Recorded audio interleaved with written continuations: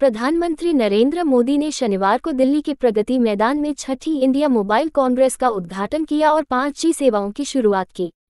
PM Modi ने प्रगति मैदान में प्रदर्शनी का भी निरीक्षण किया।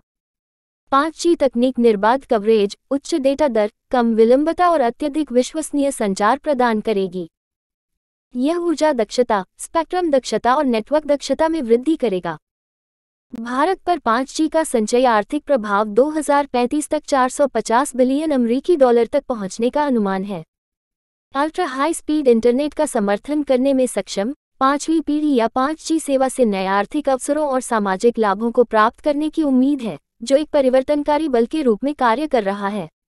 भारतीय समाज के लिए, भारत में 5G रोलआउट का पहला चरण तेरह प्रमुख शहरों अहमदाबाद, बेंगलुरु, चंडीगढ़, चेन्नई, दिल्ली गांधीनगर, गुरुग्राम, हैदराबाद, जामनगर, कोलकाता, लखनऊ, मुंबई और पुणे में होगा।